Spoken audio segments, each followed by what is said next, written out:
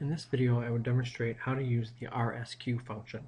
This function computes the square of the Pearson product moment correlation between two variables. This is also known as the R squared value or the coefficient of determination and this value is very often used to determine the practical significance of a Pearson correlation.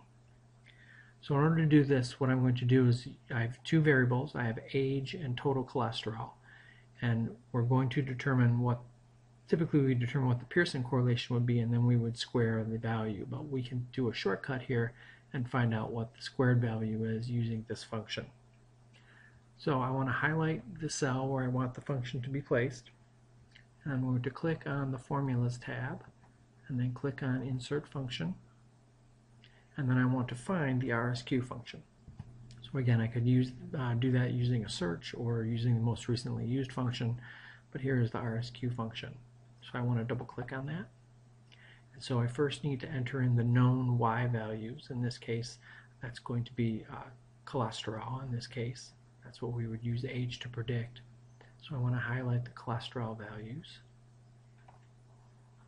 And then click enter. And then I want to highlight my known X values. In this case, age. So highlight those values. Either click enter or the left edit button and then I can click OK. And then so we can see here, here's the r squared value of 0.01.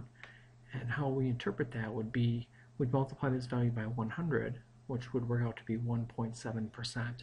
And so this tells us that about 1.7% of the variance in total cholesterol is explained by age. That's a very common way to interpret the coefficient of determination. So hopefully you've learned something from this video and good luck using this technique on your own.